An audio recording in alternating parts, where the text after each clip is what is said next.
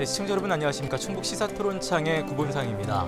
아, 지난해 충북 경제는 희비가 엇갈렸다고 하죠. 어, 대기업을 중심으로는 분기별 사상 최대 매출을 올렸지만 반면 어, 중소기업 그리고 소상공인들은 역시 어려움을 호소했습니다.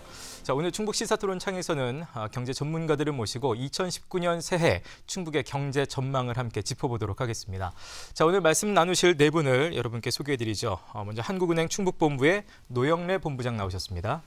네, 안녕하십니까? 예. 자, 그 옆으로 충북연구원 정초시 원장 모셨습니다. 네, 안녕하십니까? 네, 반갑습니다. 자, 제 왼쪽으로 한국기업경영학회장을 맡고 계신 충북대학교 경영학부의 이장희 교수님 나오셨습니다. 안녕하십니까? 네, 반갑습니다. 자, 마지막으로 충북지방중소벤처기업청 유동준 청장 모셨습니다. 네, 안녕하십니까? 네, 반갑습니다. 자, 이렇게 경제 전문가 네 분을 모시고 충북 경제 과연 2019년 새해 어떨 것인지 함께 짚어보도록 하겠습니다. 자, 일단 네 분 모두에게 제가 아, 충북 경제 새해 경제 전망을 좀 키워드로 표현해 달라고 미리 좀 부탁을 드렸습니다. 아, 한 분씩 예. 우리 본부장님부터 좀 편하게. 동심 통천을 새 하도로 제시해 봅니다. 예. 이는 경제가 견실한 성장을 지속하기 위해서는 국내의 여건이 어려울수록 모든 경제 주체들이 힘과 지혜를 다 함께 모아 나갈 필요가 있다는 그런 의미가 되겠습니다. 예.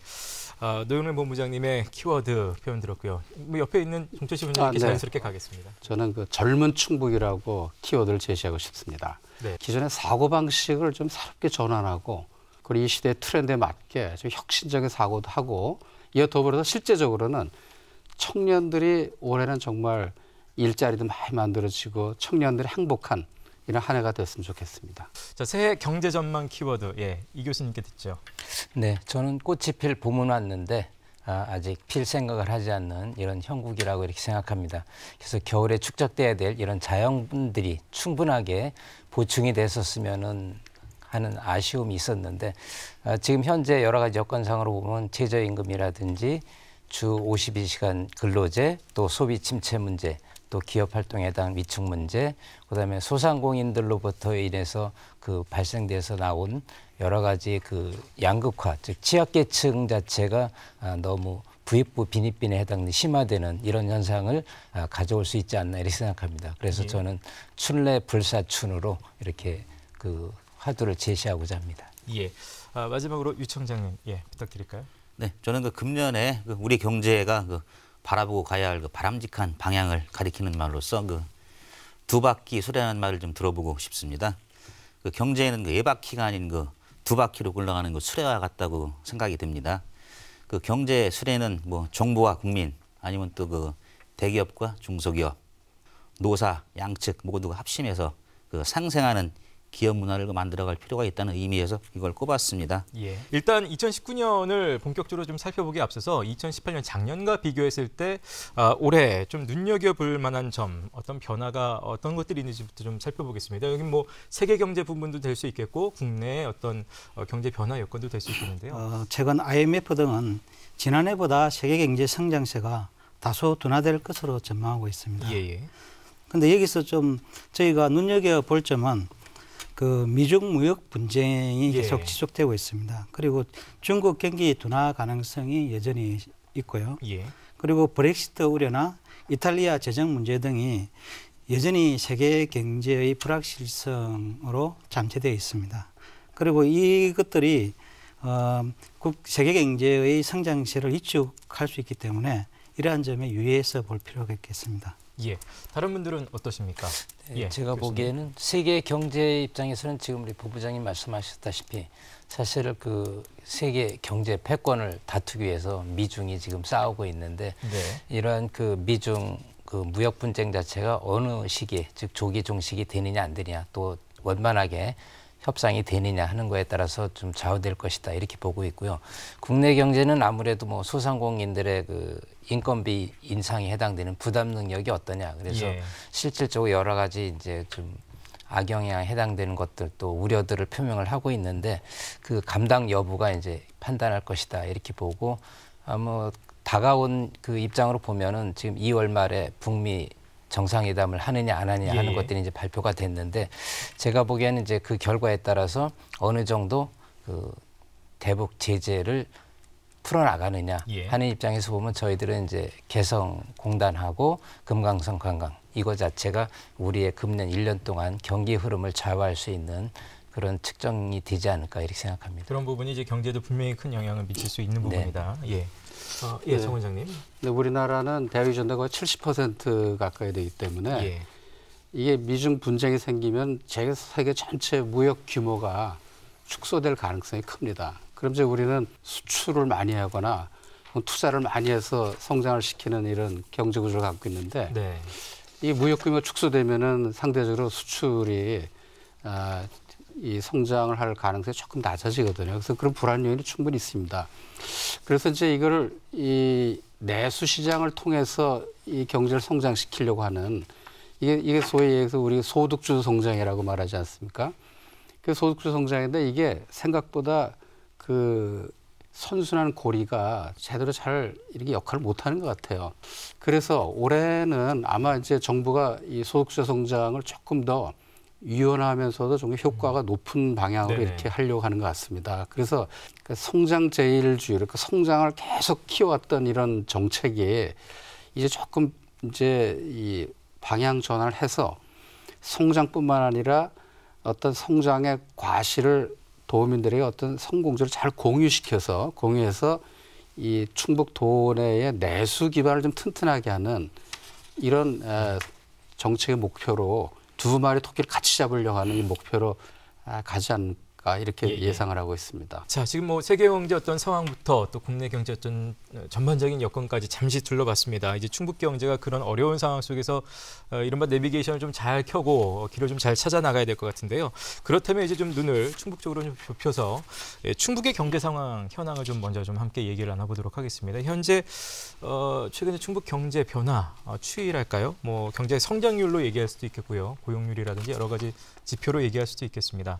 아, 네. 뭐 정 원장님 먼저 잠깐 말씀해 주실까요? 아, 예.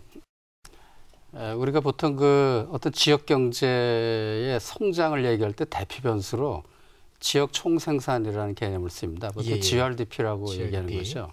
그리고 충북이 성장률이 3.4% 성장을 예. 했습니다. 에, 전국이 한 3.1%라고 보면 예. 이제 그- 그보다 좀 높은 성장률을 한데 고용률도 그렇고 예. 실업률도 낮고 그다음에 설비 투자를 보더라도 전국에 비해서 설비 투자율이 굉장히 높습니다. 예. 특히 수출은 2018년도에는 거의 한 232억 불 정도를 했습니다. 그래서 이 수출이 굉장히 괄목할목 성장을 해서 이 대체로 보면은 이 거시 지표는 예. 굉장히 양호한 편입니다. 음, 근데 이제 이 한편으로 이제 요 여기서 문제가 문제라고보다 우리의 과제라고 볼 수 있는 게 예. 아, 전통 산업 부분이 전통 제조업 분야가 조금 부진했습니다. 아, 또 한 가지는 내수 기반의 서비스업이 좀 부진했습니다. 다시 말해 도소매업이라든지 음식업이라든지 운수업 이런 것들은 다 이 도내에서 이렇게 뭔가 서비스업인데 그래서 이 서비스업을 어떻게 활성화시켜야 될지 저희가 하나의 과제로서 이렇게 볼 수가 있겠습니다. 예. 어, 원장님이 이제 말씀 안 해주신 내용을 보완해서 이제 말씀을 드리면 어, 금년도의 경우에는 이 반, 저 중국의 어떤 주력 산업인 예. 반도체의 그 수출 둔화 가능성이 좀 부각되고 있습니다. 어, 그런데 이제 바이오나 이차 전지 산업은 음, 전체적으로 양호할 수준으로 그렇게 지금 전망하고 있습니다. 그래서 예. 전체적인 중국 경제는 금년도에도 양호한 성장세를 지속할 것으로 충북의 경제는 예, 예, 예. 그렇게 보고 있습니다. 그러니까 중소기업들은 실제 지금 현황은 어떻습니까? 이게 사실은 경제 실패줄이라고 볼 수 있겠는데요. 예. 이 중소기업인들의 그 얘기를 들어보면은요, 그 자금이나 어떤 그 판로 문제보다도 가장 그 애로를 많이 토로하는 부분이 그 인력난입니다. 아, 그 그래요? 예. 인력의 미스매치 문제죠. 그 중소기업의 일자리가 없기보다는 네. 중소기업에서는 그 구인난이 심각한데 그 이제 그 청년들이 그 중소기업을 기피하기 때문에 그 취업으로 이어지지 않는 겁니다. 일자리 미스매치가 상당히 심한 그 현실이 지금 그 우리 경제에 큰 문제 걸림돌이라고 지금 보여지고 있습니다. 예. 그게 서로 눈높이가 안 맞는 거죠? 네 그렇습니다. 예, 예. 네, 물론 그게 이제 그 문화적인 차이도 있고 그리고 예. 또 어떤 그 급여나 보수적인 이런 그 물리, 물리적인 차이도 있지만 그거를 극복하는 데는 그 우리 국민 경제에 미치는 그 영향을 볼 때 상당히 시급하게 우리가 그 조치를 해야 되는데 그렇다고 해서 단기간에 해결될 수 있는 방안은 사실은 없다고 생각이 됩니다. 예, 뭐 이밖에 혹시 뭐 중소기업 쪽의 현황, 뭐 변화 추이 말씀해 주실 게 있으신가요? 아, 작년 같은 경우에 이제 우리 돈의 그 중소기업의 입장에서 보면은요, 그 그래도 그 반도체 그 호황에 히- 그 힘을 입어서요, 그 2017년도에 이어서 그 전국에서 그 두 번째 성장세를 유지를 했습니다. 다행스럽게요. 그리고 그 창업이나 또 일자리, 수출 등 전 분야에서 타 지역보다 그 양호한 실적을 기록하고 있고요. 좀 더 그 두드러지게 볼 수 있는 거는 그 실업률이 1.6%로서 그 전국에서 가장 낮은 수치를 기록했다는 거, 이 정도 들어 들어볼 수 있겠습니다. 예. 어, 어쨌든 네 분 말씀 들어보면은 양호한 성장세, 뭐 견실한 성장세라는 큰틀 안에서 이제 조금 살펴볼 점들을 말씀해 주셨는데 제가 좀 딴지를 자꾸 거는 것 같아서 죄송합니다만 어쨌든 그럼에도 불구하고 우리 도민들의 경제 체감도는 뭐 결코 이렇게 나아지진 않은 것 같고 낮다는 반응들이 많이 있는 것 같아서요. 이거는 정말 왜 그럴지 이것도 한번 얘기를 하지 않을 수 예, 없습니다. 그이 도민들의 경기 체감도는 예. 지금 실제 자기들의 그 생활 경제, 소비 소득? 생활과 직접적으로 연관되기 때문에 그럴 수밖에 없다 저는 그렇게 생각합니다. 그래서 이 경기 체감이 나빠졌다는 거는 우리 일상생활과 그 직접 연결되는 음식, 숙박, 도소매업 또 이런 것들 자체가 이제 감소하기 때문에 그 불황을 피부로 느낀다 이렇게 얘기를 하는 거고 또 한 가지는 이제 부동산 투기 억제 정책을 정부에서 이제 작년에 발표를 했는데 어, 수도권, 그 서울이나 수도권보다는 오히려 뭐 우리 충북도 그 피해를 입었지만은 예. 이 지방에 해당되는 부동산 경기 자체가 거의 뭐 좀 완전 침체. 뭐 사실은 건설업자들 얘기를 들어보면은 거의 바닥이다. 뭐 이렇게 얘기를 합니다. 그래서 이 부동산 경기 침체하고 건설 경기 자체가 이제 부진이다 하는 것이 큰 문제점이 돼 있기 때문에 느끼는 거고 또 한 가지는 이제 이 소비 침체가 유통업 침체로 이렇게 연결이 되다 보니까 지금 현재 그 청주의 주요 상권이라고 하는 성안길 자체도 임대 팻말이 지금 개- 곳곳에 늘어나고 있고 부동산 거래가 거의 중단돼 있습니다. 그러다 보니까 이제 결국 20만 자영업자하고 소상공인들의 그 어려움이 점차 커져서 뭐 걱정일지는 모르지만 서민 경제가 이러다가 붕괴되는 거 아닌가. 그래서 이제 실질적으로 보면은 그 개인 사업자라든지 무슨 대리점이라든지 하는 경우에도 곳곳에 지금 팻말들이 붙고 있습니다. 뭐가 붙느냐 하면은 영업시간 단축에 해당되는 게 붙고 있습니다. 예. 그래서 다섯 시까지 밖에는 영업을 안 한다는 그 팻말이 붙습니다. 이게 뭐냐면 아홉 시에 출근해 갖고 다섯 시가 지나면은 그 뭐 분석을 하는 건 아니겠지만 피부로 느끼는 게 다섯 시에서부터 저녁 일곱 시나 여덟 시까지 손님들이 와서 매출이라든지 돈벌이의 대상 되는 것과 그 종업원들 인건비 주는 것과 비교를 예, 예. 해보면은 다섯 시에 문을 닫는 게 낫다. 이렇게 해서.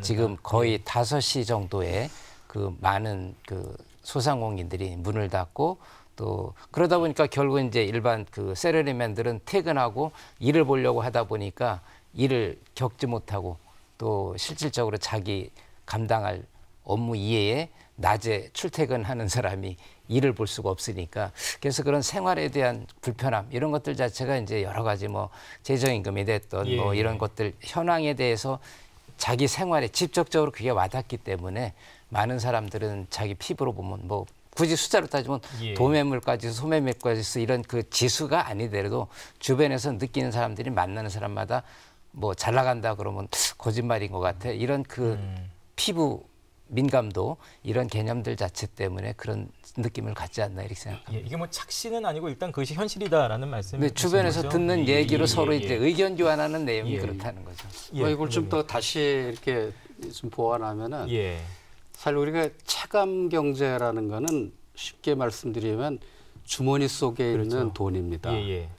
그러니까 결국 보통 어려운 말로 이걸 가처분 소득이라고 얘기하지만 예. 사실 이 가처분 소득이 충분해야지 소비도 하고 그리고 소비를 해야지 소상공인들 그걸 가지고 이렇게 소득이 새로운 소득이 창출되는데 네.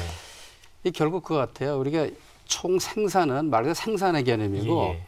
소득은 이 소비를 할 수 있는 원천입니다. 예. 그래서 우리가 보통 그런 말을 하죠. 손 안에 있는 새 한 마리가 손 밖에 날아다니는 새 100마리보다 훨씬 낫다. 그렇죠. 그죠?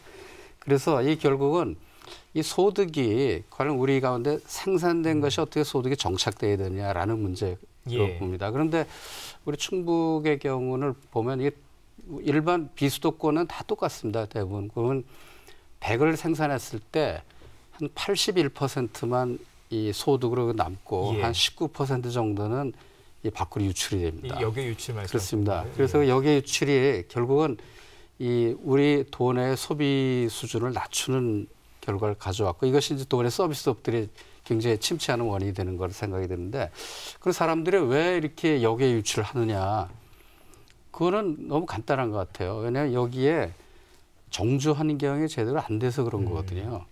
그 사람들이 여기 안 사는 이유 주민등록은 다 딴 데 가 있고 네. 여기서 생산 활동만 하는 거죠. 예, 예. 그럼 정주 환경에 제대로 갖춰줘야지 사람들이 여기서 정주도 하고 기업의 본사도 여기 생기고 막 이렇게 될 겁니다. 저희가 어쩌면 생산을 위해서 많은 기업들도 유치하고 했지만 그 사람들이 정말 여기서 살 수 있는 환경을 우리가 그 만드는데 굉장히 소홀히 했다는 건 사실입니다. 네. 특히 교육 여건들, 예. 문화 예술들, 그 다음에 교통, 그 다음에 쇼핑이라든지 기타 다른 체육 활동들 이런 걸 하기에 적합한 환경이 안 됐죠. 예.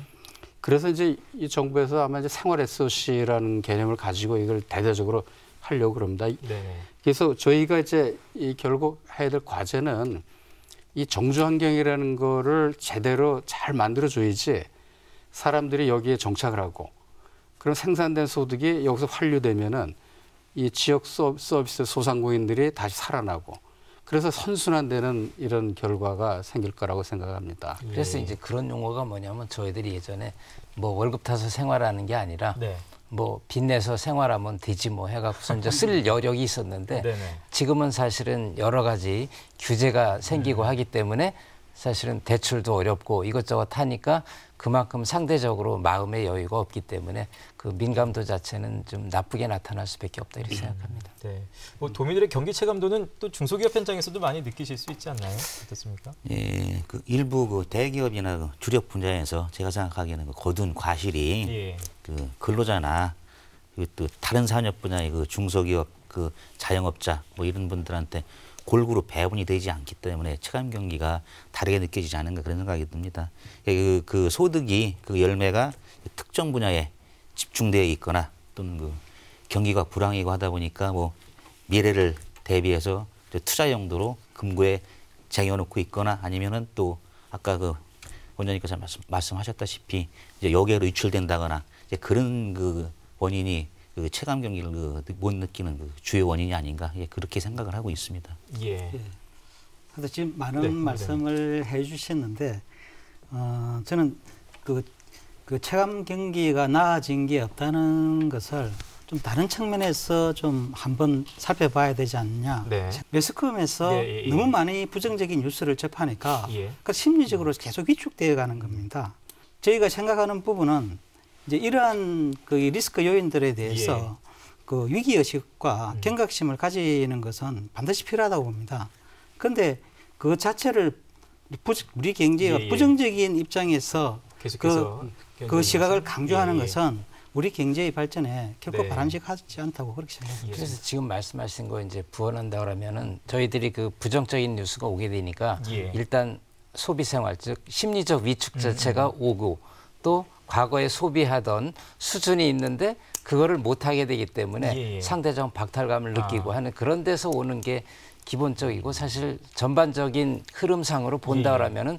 그렇게 뭐 나쁘지는 않지 않나 음. 이런 생각도 있습니다. 본부장님 말씀에 다들 끄떡이시면서 저를 쳐다보셔서 언론 입장에서는 굉장히 좀 뜨끔한데요. 공포 효과라 예, 예. 그러는데 이게 사실 부정적인 걸 자꾸 얘기하다 보면은 실제로 그렇게 됩니다. 예, 예. 근데 이렇게 긍정 요소를 계속 얘기하다 보면은 실제로 사람들이 긍정적인 데로 가게 돼 있습니다. 이게 소- 심리 효과가 굉장히 중요합니다. 그럼에도 불구하고 또 언론에서는 잘못된 것을 또 찾아서 물론 네, 찾아 그 역할을 해야겠죠. 때문에 예. 좀잘 봐주시기 바라겠습니다. 좋은 뉴스도 상당히 많거든요. 예, 예. 이제 그런 알겠습니다. 부분들이 이제 너무 이제 묻혀 있으니까 경제 주체들이 많이 불안해하는 그러니까. 경제도 분명히 심리적인 요소가 분명히 네, 있다는 네, 것. 예. 자, 저희가 뭐 충북 경제 어떤 뭐 특징적인 부분들까지도 두루두루 좀 이해가 되고 있는데요. 자, 그렇다면 이제 2019년이 중요하겠죠. 2019년 새해 아, 충북 경제를 좀 일단 전망을 해 주신다면 예. 그 저희 연구원에서 아, 2019년도 경제 성장을 예측을 했는데요. 아, 한 3.97% 정도 실질 성장에 전국은 한 2.59% 그래서 아, 전국에 비해서 한 2% 가까이 에, 높은 걸로 이렇게 예측이 됐는데 예. 아, 특히 이제 이 설비 투자, 그러니까 기업 유치를 통한 설비 투자나 아, 건설 투자도 이제 산업단지를 계속 개발하면서 네네. 산업단지 건설 수요는 많아질 것 같습니다. 근데 예. 우리 이 교수님이 걱정하시는 주택, 민간 주택 관련 예, 예. 건설은 굉장히 침체할 게 확실하고요. 그래서 이, 이 건설업 전체가 이 산업단지의 공공 수요가 좀 늘어난다고 하면 아마 건설 경기 자체는 아, 그래도 전국에 비해서는 좀 나아지지 않을까 싶은 생각이 듭니다. 예, 그런 면에서 이 양적인 성장은 뭐 예. 그 전국에 비해서 굉장히 양호할 거로 생각이 들고요. 예, 예. 근데 단지 이제 저희들이 이 2019년도 경제 정책을 특히 도에서 경제를 좀 운영할 때 아, 경제 정책의 큰 방향을 하나 양적 성장뿐만 아니라 하나 질적 성장도 음. 병행하는 것으로서 큰 방향을 예, 설정했습니다. 예. 그래서 2019년도는 아마 어쩌면은 지금까지 양적 성장 위주로 왔던 성장 정책이 양적인 것과 질적인 성장을 병행하는 예. 이런 원년이 되지 않을까 이렇게 생각이 듭니다. 예. 그 질적 선장은 이른바 내 개인 주머니 사정에 그렇습니다. 관련된 예, 부분이라고 모든 봐도 사람들이? 예. 성과를 공유할 수 있는 이런 거라고 볼 수 있겠습니다. 예. 새해 들어서 저희가 그 중소기업 그 단체나 그리고 소상공인 협단체 임원들하고요. 그리고 중소기업 CEO들하고 한 30여 분 하고 제가 그 대화를 좀 해봤습니다. 예, 그분들한테 그 신년 인사에 아니면 그 사업 설명 이런 자리를 빌어가지고서 그 금년도 그 우리 그 충북의 경제 전망이 어떻게 될 것인지 한번 그 여쭤본 적이 있었습니다. 그래서 한 3, 30분 정도한테 지금 여쭤봤었는데요. 한 13% 정도가 이제 그 금년도에 충북 경제에는 그 전년도 수준은 뭐 유지할 수 있겠다 이렇게 좀 말씀을 해주셨고요.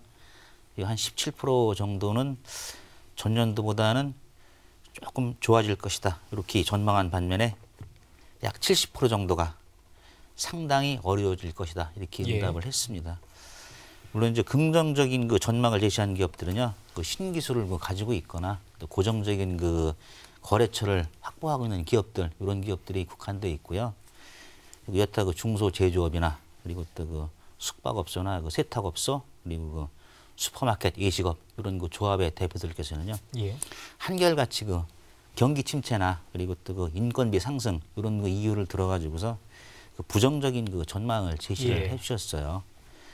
예, 물론 이제 이러한 그 경제 전망이 그 우리 그 충북 경제의 그 전반을 뭐 보여준다기보다는 그 의견을 제시하신 그 대표님들이 뭐 속한 산업이나 그 업종에 대한 그 경, 경기 전망을 대변할 것으로 보여지기는 합니다. 그래서 그 제시해 주신 그 개별 전망을 통해서 이제 제가 한번 생각을 해보건데요. 예. 그 내년에 그 우리 그 지역은 그 물론 첨단 의료 복합이나 바이오 뭐 화장품 다 이런 그 선도 분야 산업이 좀 활약을 해서 예.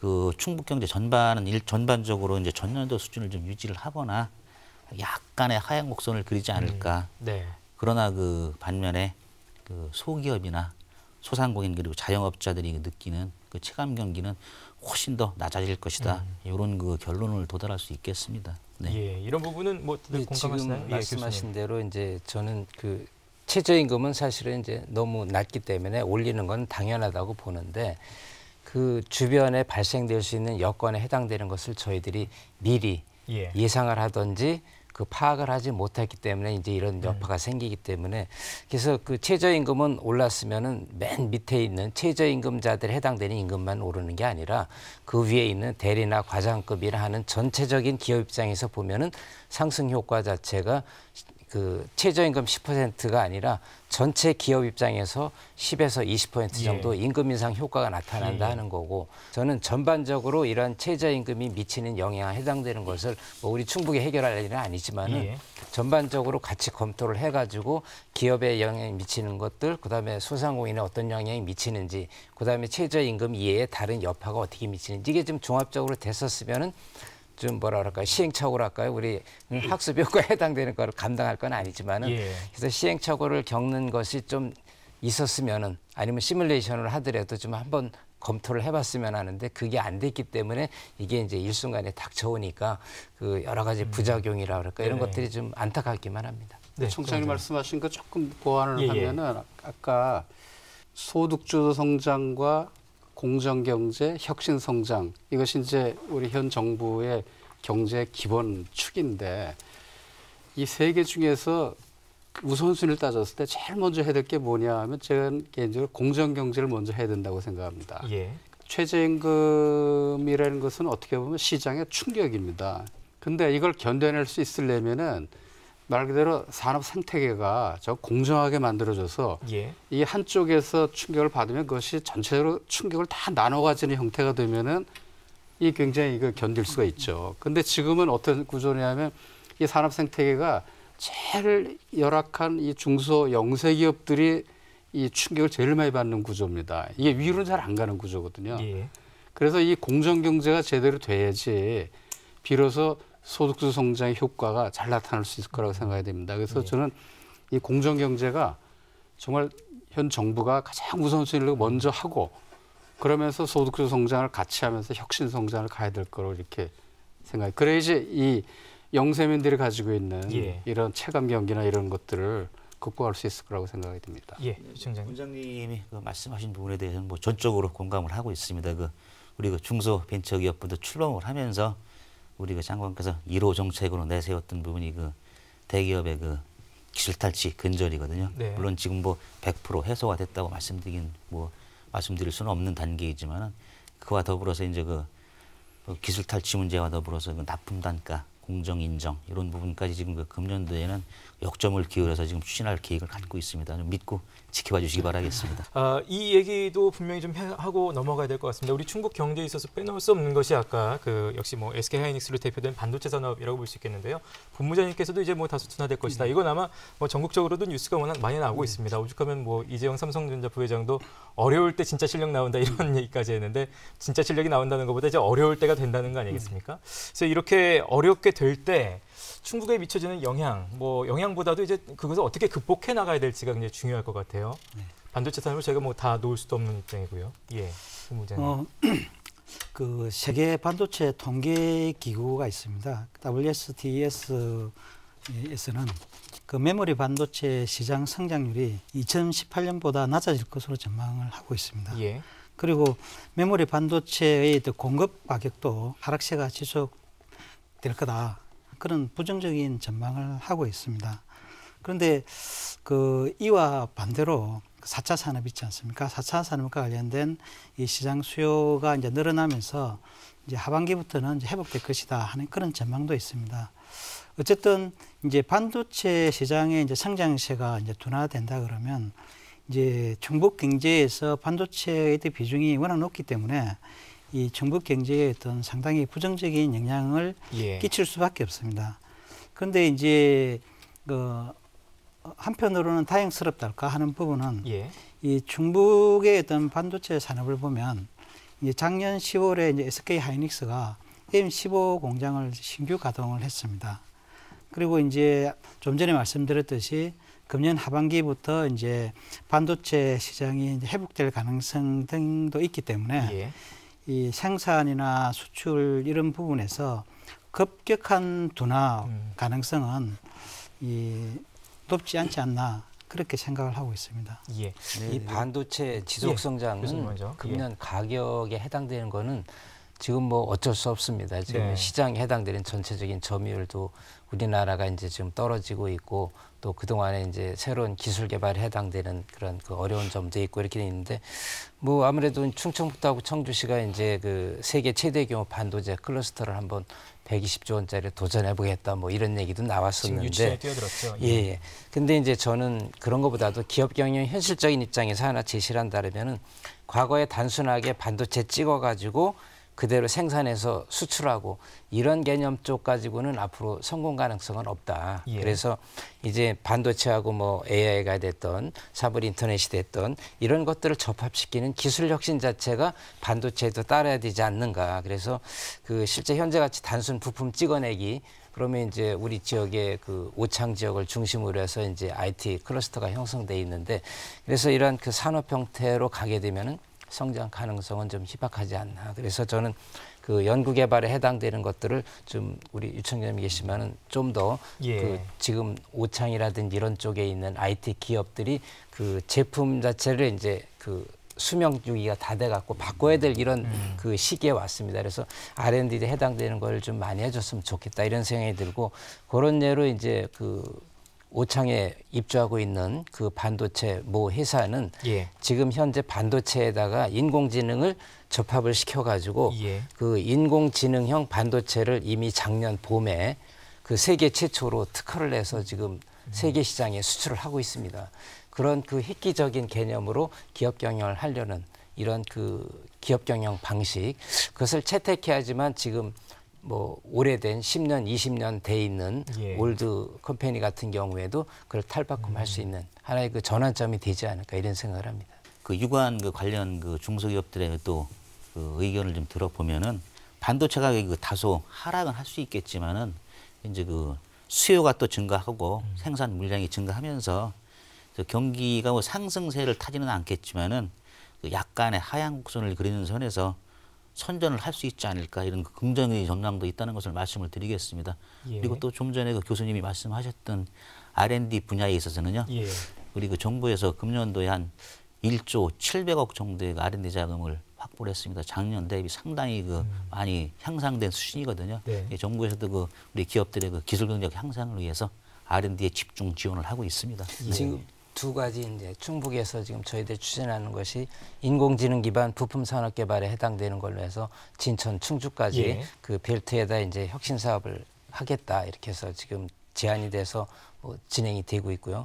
또 우리 정 원장님 뭐 고생하셨지만은 충북 강소개발 특구 네. 이거 자체가 이제 연구개발 기술 사업화 또 뭐 특구 개발 부담금 감소 뭐 여러 가지들이 있습니다. 그래서 이렇게 하게 되면은 제 생각에는 오송서부터 시작해서 뭐 오창 그다음에 진천 충주까지 이 벨트권은 아무래도 뭐 반도체 자체가 뭐 산업의 기본이 되는 거니까 그 활성화될 수 있는 그런 계기가 돼서 이 두 개 사업 자체가 복합적으로 잘 앞으로 운영이 된다고 하면은 뭐 큰 성장 시너지 효과를 낼 수 있지 않을까 이렇게 생각합니다. 이제 충북 경제 결국 어떻게든 지속적으로 발전을 해 나가야 되겠죠. 지속적인 발전을 위해서 어, 네 분께서 다들 이제 또 생각하신 그 제언들이 좀 있으실 것 같습니다. 좀 들어보도록 하죠.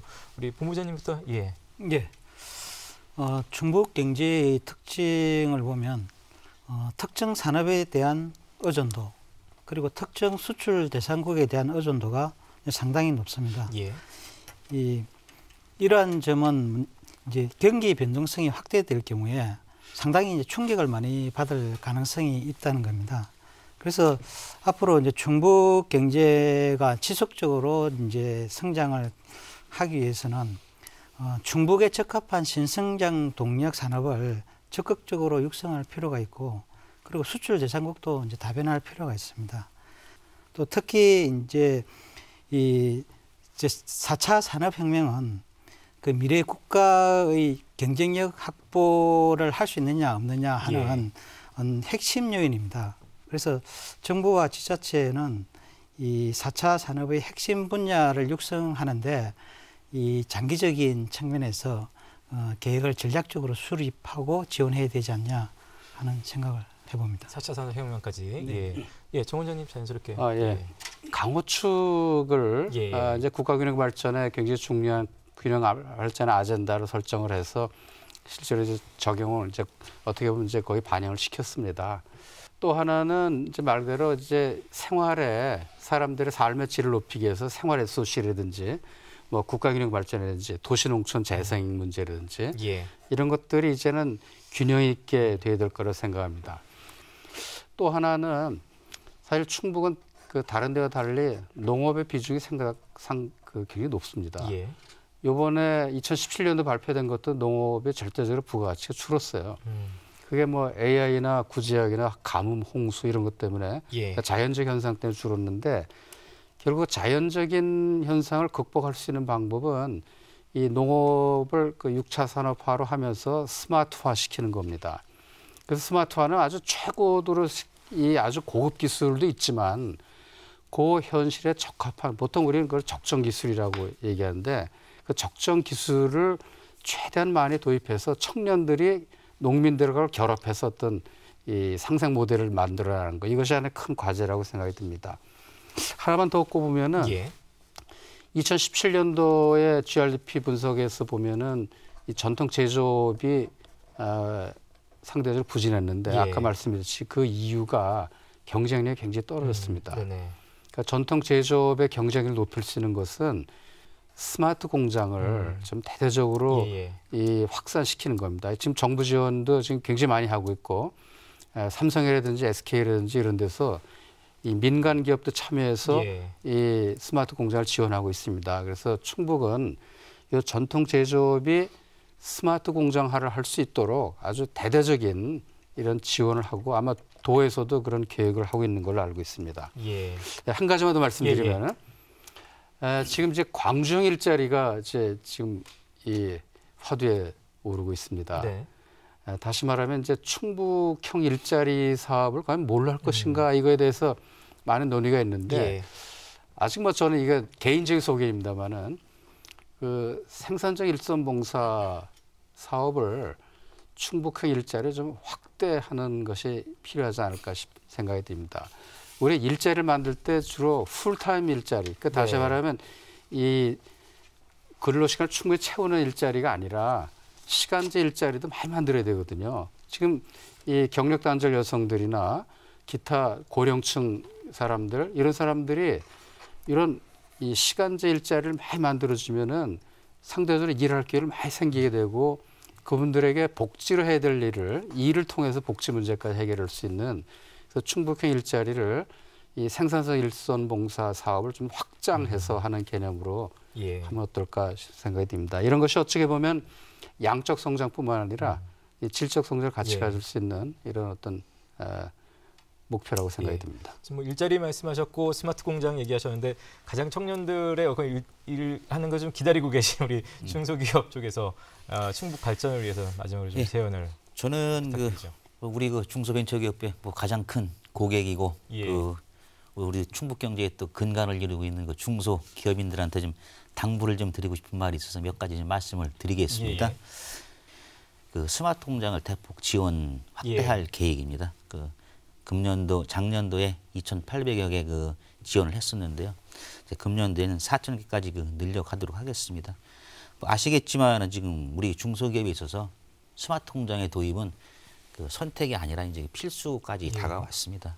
스마트 공장을 도입을 하게 되면은 뭐 기업의 시스템이 또 고도화될 뿐만 아니라요. 그 비용도 절감이 되고 또 근로의 질도 높아집니다.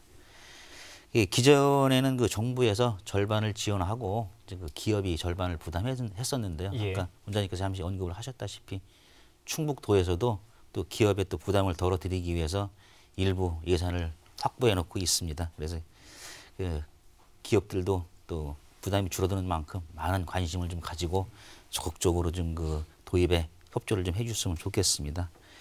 그리고 또 우리 그 중기부에서 또 하나 실, 그 실행하려고 하는 계획이요 계획이고요. 그또 금년에 그 중소기업의 좀 인력난을 좀 줄이기 예. 위해서 우리 그 중소벤처기업의 그 비즈니스 지원단이 있습니다. 그 비즈니스 지원단에서 우리가 대학이나 특성화 등 특성화과 협력을 해가지고 그 우수한 인력을 골라서 그 필요로 하는 중소기업에 그 직접 연결을 시켜주는 그 일자리 매칭 매니저 제도를 그 처음으로 도입해서 시행할 계획입니다. 그 기업들에서도 그 적극 좀 활용을 해주시길 바라겠습니다.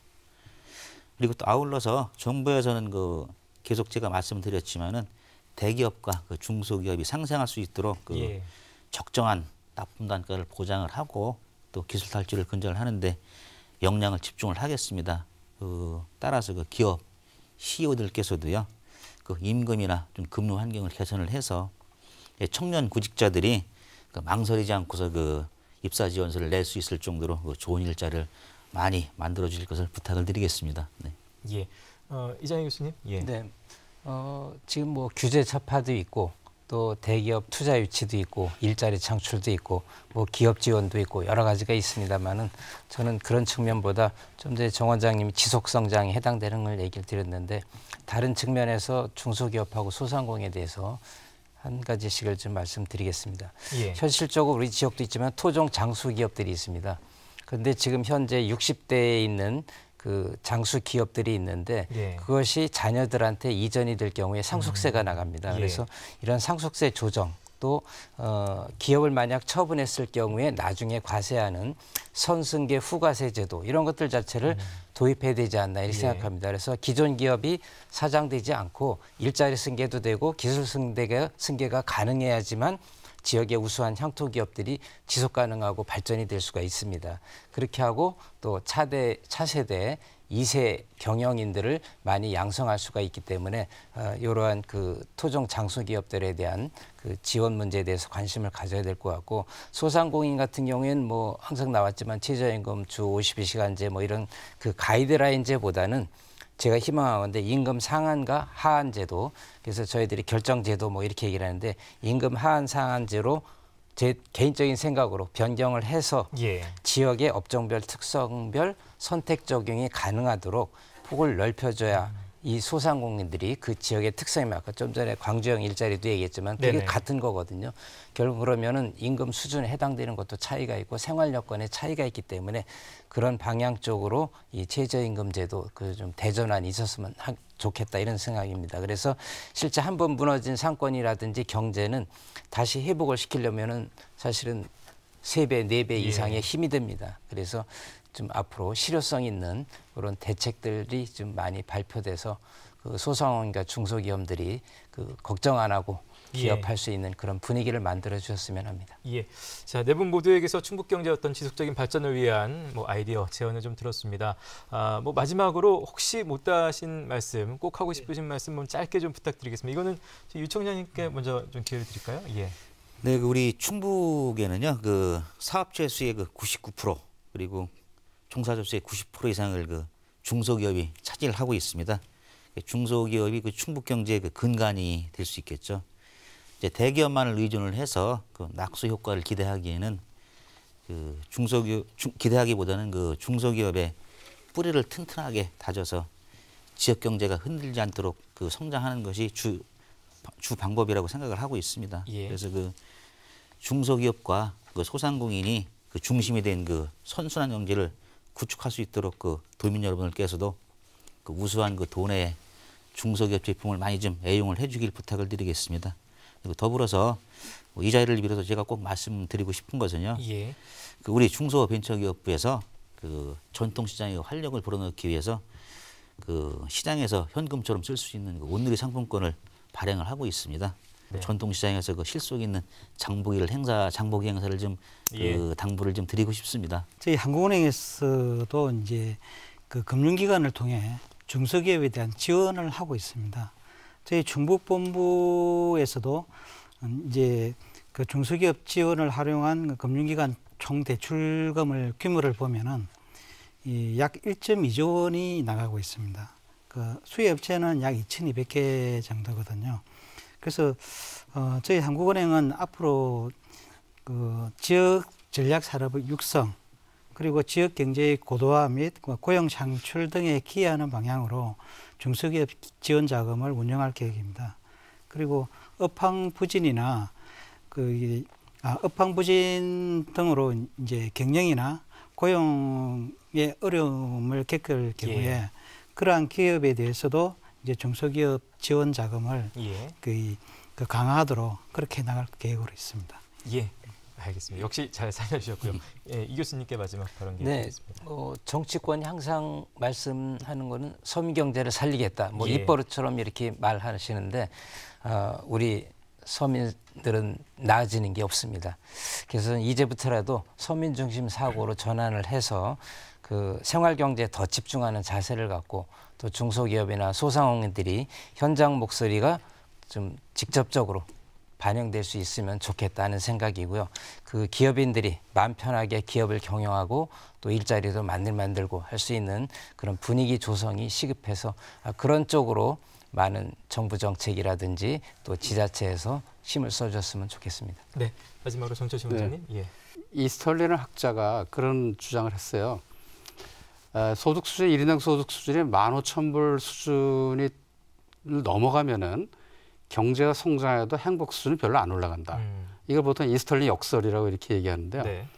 근데 의외로 북유럽이나 이런 나라들은 일인당 소득 수준이 5만 불에서 7만 불 이렇게 되는데도 불구하고 행복 수준은 거의 전 세계에서 항상 상입니다. 예. 그 이유가 바로 이 사회적 자본이 형성되어 있기 때문에 그렇습니다. 다시 말하면 관용, 배려, 그 다음에 용서, 그리고 서로 이렇게 이 상대방을 이해해 주는 것, 이런, 이런 어떤 정신적인 가치들이죠. 이런 것들을 우리 올해는 좀 이런 걸 잘 만들어서 그래서 진짜 저는 부자들이 존경받는 이런 사회가 됐으면 좋지 않을까. 이것이 경제를 이루는 경제 밑받침이 되는 제일 큰 가치라고 생각이 듭니다. 아, 오늘 말씀 함께 해 주신 네 분 모두 다시 한번 감사드리겠습니다. 고맙습니다. 예. 아, 얼마 전에 경기 전망에 대한 설문조사 했습니다. 아, 뭐 여기 유청장님도 나와 계셨고 또 노 본부장님도 마지막에 이제 중소기업 지원에 대한 말씀하셨습니다만 중소기업들의 올해 목표가 회사의 성장이 아니라 아, 살아남는 것이다 이런 기사를 봤습니다. 그만큼 국민들의 경기에 대한 체감도 어, 여전히 어렵다는 것을 알 수가 있는데요. 새해에는 우리 경제도 부디 좀 따뜻한 바람이 불어와서 작년보다는 더 나은 한 해가 되기를 간절하게 바라보겠습니다. 자, 충북 시사 토론창 오늘 순서는 여기서 마치겠습니다. 시청해주신 여러분 고맙습니다.